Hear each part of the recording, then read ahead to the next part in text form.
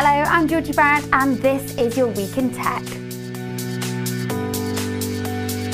Supply chain software provider Relex has raised $22.4 million from Summit Partners and will continue its international expansion. Trunomi has closed a $3 million funding round. Trunomi provides consent-based sharing of customer data and solves data privacy issues in financial industries.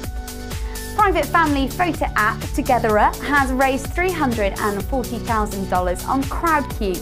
It's already featured by Apple in 118 countries, currently has 50,000 users, and is live in 17 different languages. It's been a bumper week for growing tech talent in London. Seedcamp Week kicked off, gathering the top startups from across Europe to focus on scaling up. Startups such as Landinsight, Splittable, and Monese had the opportunity to meet business experts and accelerate their ventures. Entrepreneur First held their fourth demo day, showcasing the entrepreneurial endeavours of newly graduated techies, and Girls in Tech have launched their mentoring scheme. They sorted through hundreds of applications to find top talent from three main areas entrepreneurs, coders, and managers. The 15 lucky mentees will have the opportunity of six months mentoring from top names such as Google, Not on the High Street, Spotify, and Decoded. Over in the US, Apple have revealed the details of the iPhone 6s, which features an improved camera, faster processor, and a 3D touch, which will be able to distinguish the pressure of taps. The phone was unveiled in California alongside a range of new products, including a new iPad Pro and Apple TV device. Meanwhile, Facebook owned Instagram have introduced 30 second video ads to their newsfeed of their 300 million strong user base.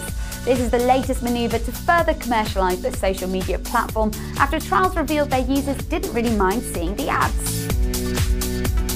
Our download of the week is Vernez, and Mei Young is here to tell us a little bit more. Vernez is a place to edit your own fashion magazine. You could also follow other users and even products to see what other people are liking and how they're styling your favorite items. Better yet, you can shop everything you see. And finally, former antivirus developer John McAfee has announced via YouTube that he's running for the office of US President on behalf of the Cyber Party. The eccentric millionaire decided to form the party after he was struck by the lack of tech literacy within the government.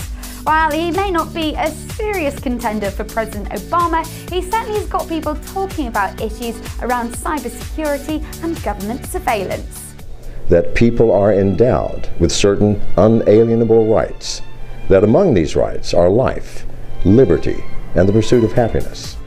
This has been your Week in Tech. For more, check out Tech City News and make sure you follow us on Twitter.